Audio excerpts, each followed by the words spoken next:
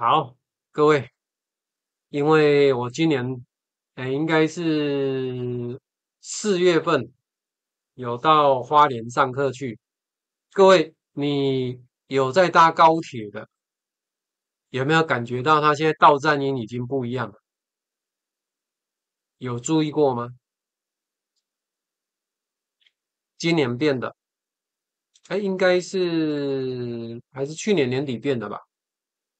好，这个地方我用这个用分页的方式跟各位分享一下，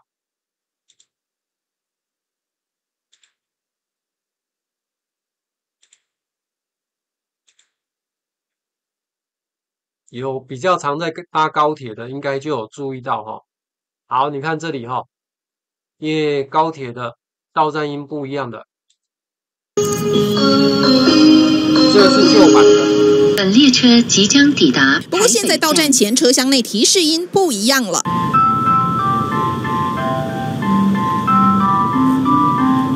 本列车即将抵达。台湾高铁跟国家文化艺术基金会合作，把布农族一首蕴含祝福出行的人以及期待丰收的传统歌谣《列前祭枪歌》。以这首歌为发想，转化成高铁车厢内的广播提示音。二十号全面上线。对，刚开始还不习惯，我听到这个音乐 OK 了哈。那所以呢，就因为这样子，我就把它改编一下啦，所以就变成这个版本啦。那我有搭配语音，因为这个用 Beat 来做，比我用 Smart 做效果好。为什么？因为啊，其实这个部分哦，哎，我看一下啊，有有有有有，在我有这里有一二三，好，三个版本，哎，三个版本哦，一个是全家的，一个是你们家乐色车来的，好，一个是这个，啊，因为它的按钮就三个状态而已啦，哦，所以我这边就只有这样。那你看哦，哈，我这边就真的模拟像我们高铁这样子。哎，音乐播完了，就一个语音，好，你们这样看不到哈，看不到我的那个画笔，没关系。好，银色你不知道它有改哦，来，我们马上听看看好吗？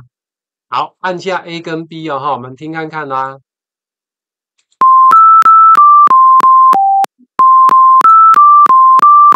本列车即将抵达花莲站，请下车的旅客记得您的行李。这样有没有比较有 feel？对不对？因为他讲完，你会告诉你现在到哪一站呢？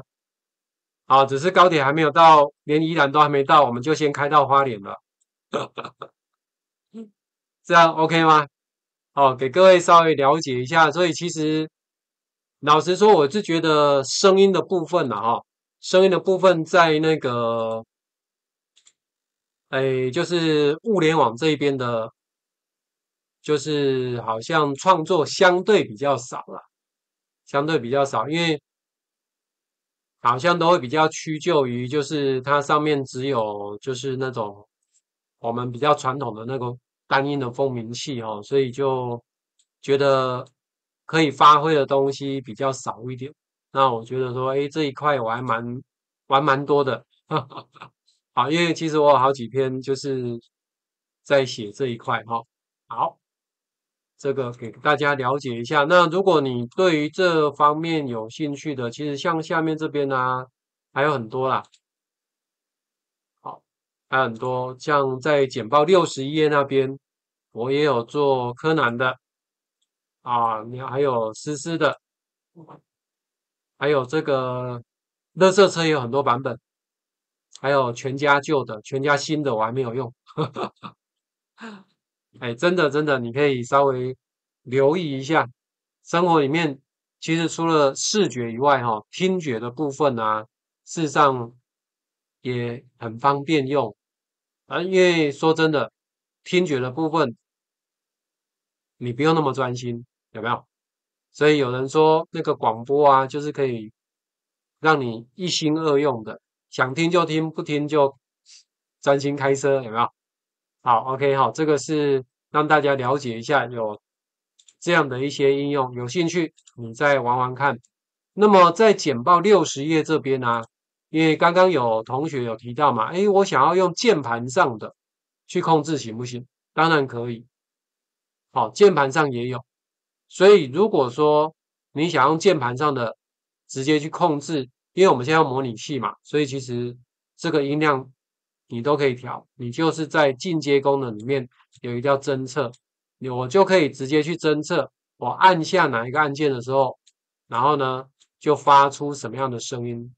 所以如果如果你要做哆来咪发嗦，就好像做一个钢琴键盘，你就可以像这样直接去制作。好，所以这个应用也跟大家稍微分享一下。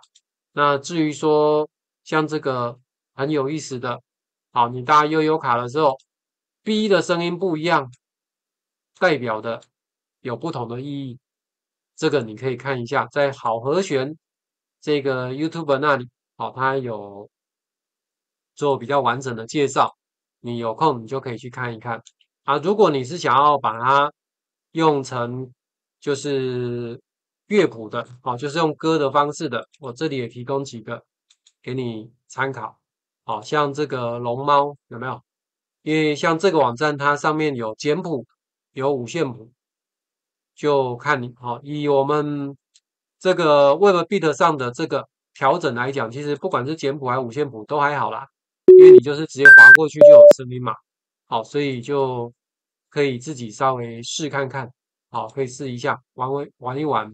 那这个网站呢，你进去了之后有繁体中文，它可以选择简谱还是五线谱。好，继续造访一下。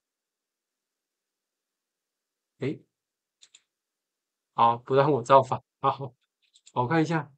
哦，因为这边没有 HTTPS。好好好，这个你啊，我改一下好了，因为你加上 S 之后，应该是可以过去了。加上 S，好，马上改变一下。